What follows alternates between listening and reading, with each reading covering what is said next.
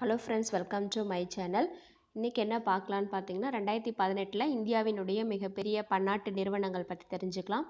First one வந்து Sony corporation ரெண்டாவது Hewlett பேக்கார்டு HP Tata மூணாவது டா டாடா குழுமம். நான்காவது மைக்ரோசாஃப்ட் கார்ப்பரேஷன் ஐந்தாவது ஐபிஎம் ஆறு வந்து நெட்டில் ஏழு வந்து ஃப்ராக்டர் அண்ட் கேபிள் எட்டு வந்து சிட்டி குழுமம். ஒன்பது வந்து பெப்சி நிறுவனம். பத்து வந்து கொக்கோ கோலா நிறுவனம். நெக்ஸ்ட்டு வந்து அந்நிய செலாவணி கட்டுப்பாட்டு சட்டம். அதாவது ஆயிரத்தி தொள்ளாயிரத்தி எழுபத்தி நாலில் வந்து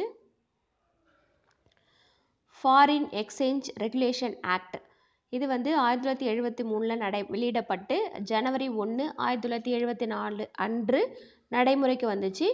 இந்த சட்டம் வந்து இந்தியாவில் பன்னாட்டு நிறுவனங்கள் செயல்பாட்டை வந்து நேரடியாக வந்து குறிக்குது.